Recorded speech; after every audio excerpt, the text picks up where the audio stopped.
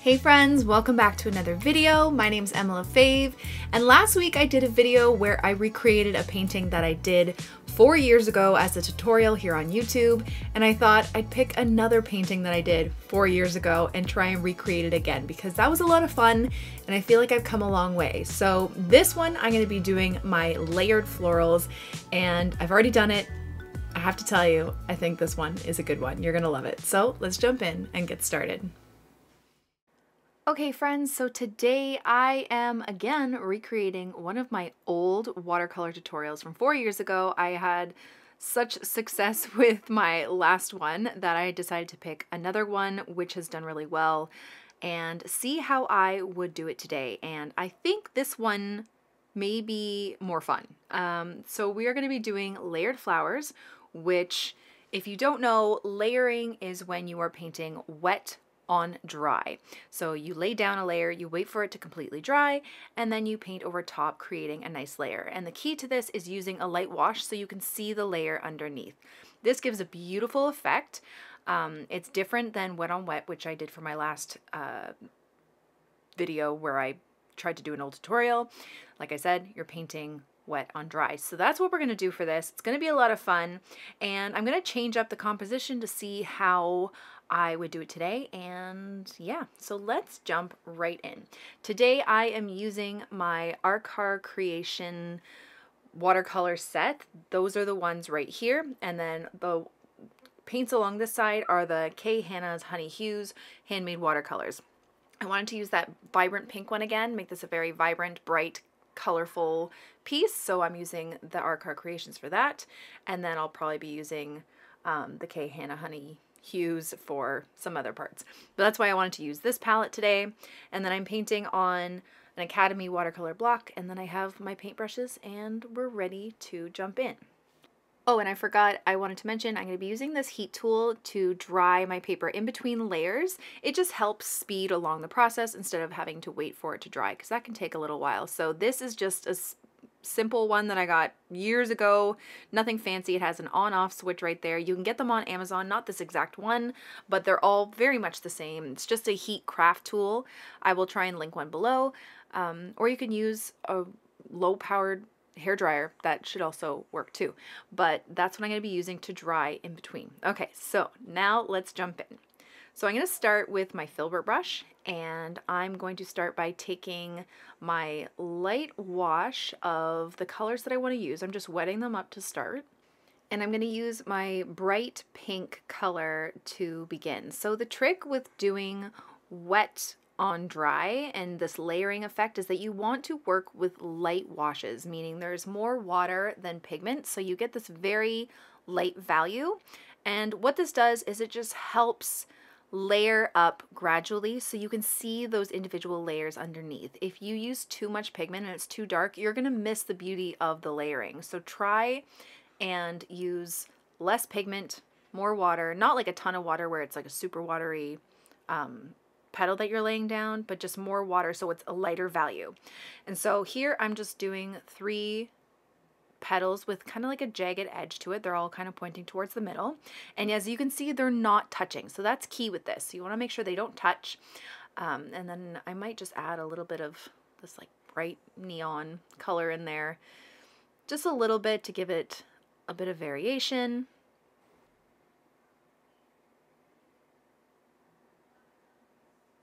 Then I might just add a little bit more color in there just for a bit of texture. Not a ton, just a little bit. And because it's wet and I'm adding the wet paint, it's just going to be like a soft transition of darker colors to lighter colors. Okay, so let's let that completely dry and work on another flower. So I think I'm going to do a side view of a flower. I'm just going to use this like neon kind of color, mix it with the pink a bit. And again, still using my filbert brush, I'm going to do this single petal with the jagged tips.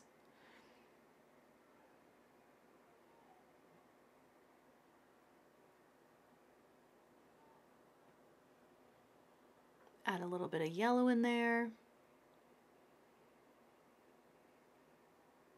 And then I'm going to do one more, I think, just below. Just grab a little bit of yellow, mix it with that peach a bit. And then we're going to do another flower kind of like that middle pink one. So again, jagged edges, a little bit more. Still using the light wash just so it's really nice and light. I'm going to do kind of like a curved petal. And again, it's not touching that first one because we're going to be adding layers, like another petal layering over the two petals that are side by side. Just adding a little bit of orange in there. And then I'm going to do one bigger petal, I think, at the bottom.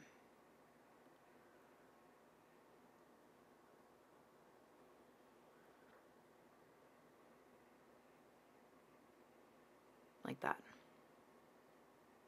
A little bit more orange. Drag it to the center a little bit. And I'm just adding, like tapping in the tiniest amount of color, not a lot at all.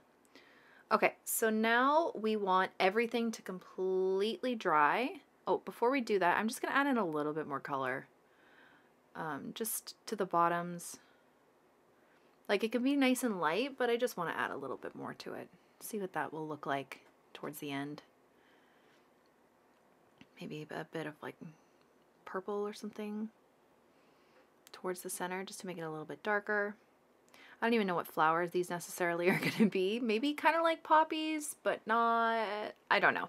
And you know what? Your floral paintings don't always have to be something specific. Okay, you can just do, go with the flow and do whatever painting you want of a made up flower. So now I'm just drying it. So I'm going to skip ahead until it's dry. Okay, so now that it's dry, we're gonna work on our second layers. So for this, I think I'm gonna just change up the colors just a little bit. Um, I wanna keep it still kind of on the pink side, but I'm gonna add a little bit of purple to it just to change it up just a tight, a tiny bit. And again, we want to make sure it's a nice light wash so you can see this first layer underneath. So I'm gonna show you what I mean.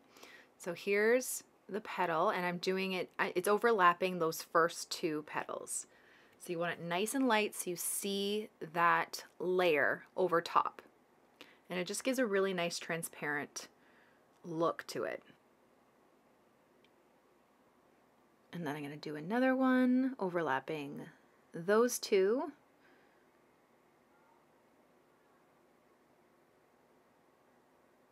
And all these petals have nice like jagged edges.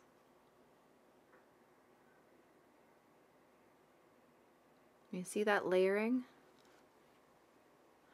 Just going to add a little bit, I think, more color, just like we did to the first layers, just a tad bit, because you don't want it to overshadow those first layers necessarily. You want to be able to see it underneath, but I just want to add a little bit of textured kind of petals, or texture to our petals, like so. Okay, and then we will finish it off with another layer of petals. Okay, so let's move on to the next flower doing the same kind of thing. We're just making this one a side view, so all the petals are going to be facing one way. And again, I'm just changing up the color slightly. So I just have one petal kind of to the side there, and then I'll do another one below. And they're all facing the same way, so it's just that side view. So this one might be a little bit thinner. Then I'm just going to add a little bit more darkness to the tips of the petals. Again, not overshadowing the layers too much, just a small amount of color like so. Okay, and then we're to let that dry and let's move on to the last one. So I'm to have this one just a, like a tad bit on the orangier side, I think. So just a little bit of that pink into our yellow. And then again, we're just creating petals that are overlapping uh, two of the first petals.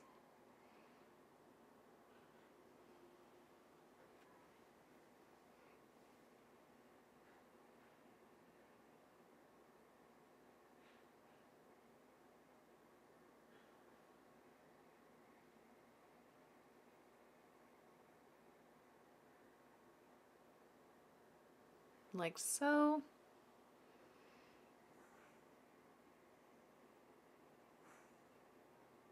I might go back in. So see how the first petals were a bit more yellow, these ones are a bit more orange, just changing it up a bit. Might go back in and add a little bit more darkness to the edges. Maybe maybe the purple just towards the center. I think the biggest test with these flowers is just you know, using less paint than you think you need. You really want to have this transparent look to it. And if you use too much paint, it could go wrong. So less paint, lighter values. Okay. Okay, now I'm to do the leaves and the stems and just because we have an idea of where all the petals are going. And I think with this, what I want to do is I want to, my original one, my leaves were not very great, but I kind of want to add more leaves and have the overlapping and layering happen with the leaves as well. So I'm just going to start with the stems and then we're going to do some leaves that are a little bit different and layering as well. So I just want to start by making a stem um, coming off one of the main stems and then I'm going to do like a set of clustered leaves here and that's where I can kind of overlap them and layer them. So I'm going to do one at the end here, end, end here. I'm just using this bright green, one a little bit further down, but not too much because I do want to do another leaf in between where they're going to overlap with these two and then the same on this side. And for my leaf shapes this time, I didn't want them to be so like perfect leaf shapes. I want to give them a little bit more movement, a little bit more curves, jaggedness to them. So that's what I'm doing. I'm just wiggling my brush a bit to give them a bit of movement. And I think I want to darken some of these up. So I'm going to add a little bit of blue to my green. It just makes it a little bit more cooler, darker, like so. And the paints that I'm using for this, these are the Khannah Honey Hues. I forget which color they are, but if you watch, if you watch the review of these paints, I think I go through the names of them. So I'm just going to do another stem of leaves over this side. Again, little cluster, but I want to make sure that they're not so far apart that I'll be able to layer them somehow. Might even go over the petal a bit. I don't know, do I want to? Yeah, why not? Let's layer it. it's like they're all transparent kind of flowers and and leaves. I really love the color of this green. It's beautiful. Okay, there we go. Add a little bit of yellow in there. And then maybe I'll do one towards the bottom, I think. So again, just doing another stem here for the leaves. I think this is cut off in the video a little bit. I didn't realize my camera was so high. Um, just moving it around. Yeah, you can't see me painting down there. Whoopsie doodle. All right, so I'm going to skip ahead so where you can see me. okay, so now I've quickly dried everything on my paper and I'm just to do another round of layered petals. Just I want them to be a bit fuller and fluffier. So again, I'm doing another layer of petals in between the last two that we just did. So this is to be over top of that first initial petal that we did. And just so we don't lose the bigger petal underneath, I'm just making it a little bit smaller, slightly darker. I think I go a little bit too dark at the beginning and then I just lift a bit up with my, my brush um, just because I don't want it too, too dark. I don't want to lose those layers. So I'm just going to do another layer all around.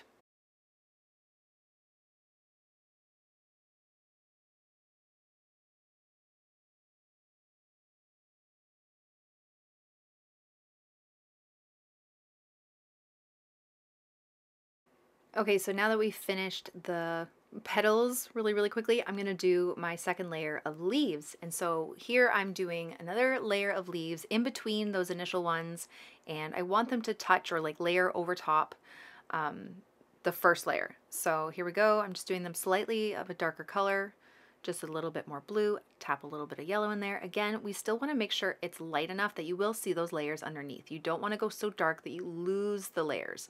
So again, just kind of filling it in. And if you want to add a little bit of darkness, I suggest doing it to maybe like one side of the leaf or to the base. So here I'm just adding a little bit of blue see to the one side so you don't completely lose the layer but it also does give it a bit of variety.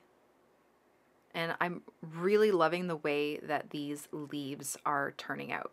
So I'm going to kind of leave you with me doing the rest of these leaves, a little bit of music because it's just really relaxing and calming. And then I do the center of the flowers. For the center of the flowers, I just took a little bit of indigo, which you'll see at the end.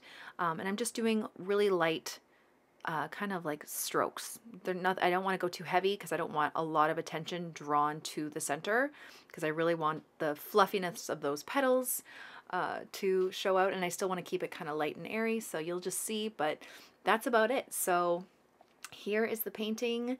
Um, I hope you guys enjoy the rest and I'll see you at the end.